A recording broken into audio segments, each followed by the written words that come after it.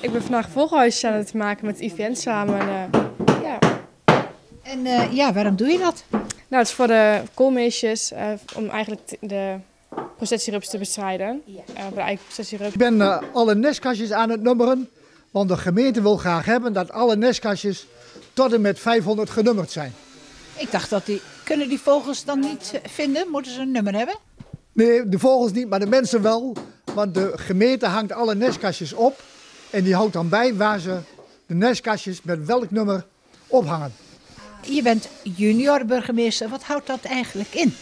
Nou, het houdt eigenlijk in dat ik ehm, voor- samen met de burgemeester of alleen ehm, voor Almelo dingen ga doen. Eigenlijk om te laten zien ehm, dat ook voor jongeren heel veel te doen is qua vrijwilligerswerk. Zeg, eh, zijn jullie een beetje op schema? Wanneer moet het klaar zijn, de klus? Wij zijn goed op schema. De volgende week halen we de 500 en dan is dit project klaar.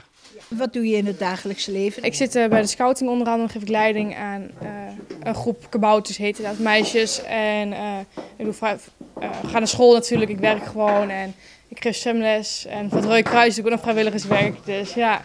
Je hebt het druk genoeg, hè? Want je doet dat naast je opleiding, hè? Wat voor opleiding doe je? Ik volg nu de opleiding maatschappelijk zorg en dan de richting persoonlijk begeleiden specifieke doelgroepen. Is het IVN in de markt om nog meer van die nestkastjes te maken? Kunnen er nog meer klanten zich melden? Nou, wij hebben ook voorzichtig gezegd dat wij ook voor particulieren nestkastjes willen maken. Hè, als daar voldoende belangstelling voor is. Dus wij zullen er wat meer maken dan 500. En als er eh, mensen kunnen zich opgeven, telefonisch of via de mail. En dan kunnen ze eh, via betaling kunnen ze nestkastjes krijgen. Hoeveel kostte zo'n eh, nestkastje? Bij onze prijzen, wij rekenen daar 15 euro voor.